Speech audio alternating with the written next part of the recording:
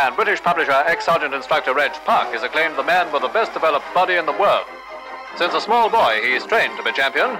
Now, in his magazine universe, he advises all young bodybuilders how they too can muscle in and maybe become Mr. Universe themselves.